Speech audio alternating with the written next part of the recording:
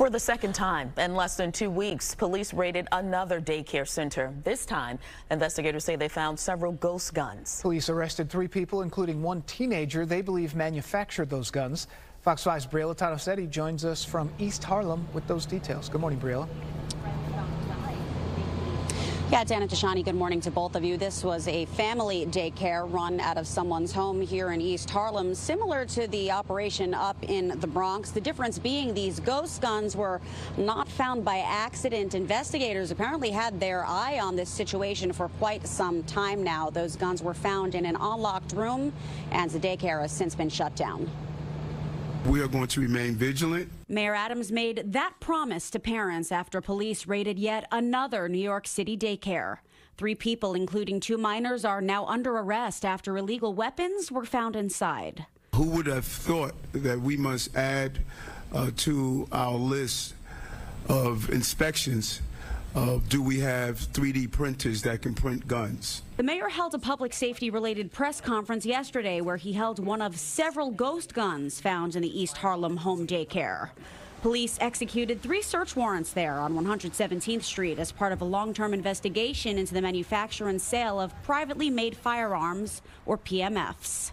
Investigators recovered a 3D printer, 3D printing tools, and plastic filament two completed 3D printed firearms, one 3D printed assault pistol in the final stages of assembly, and one additional 3D printed lower receiver. Investigators say 18 year old Karon Coley, who lives in the apartment with his mother, and two minors bought ghost gun parts online and then assembled them inside.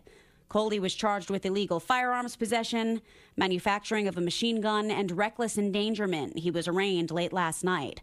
The NYPD also found a maltreated and neglected dog. Coley's mother, who runs the home daycare, will not face any charges. You got an 18 year old in his room, 3D printer.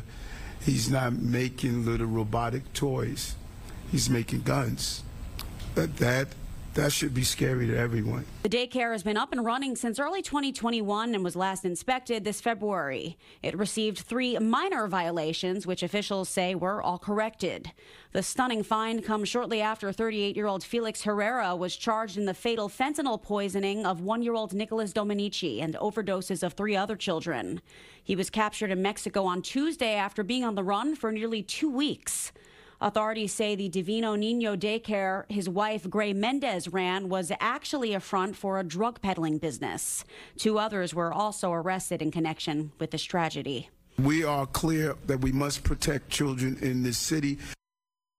At 300.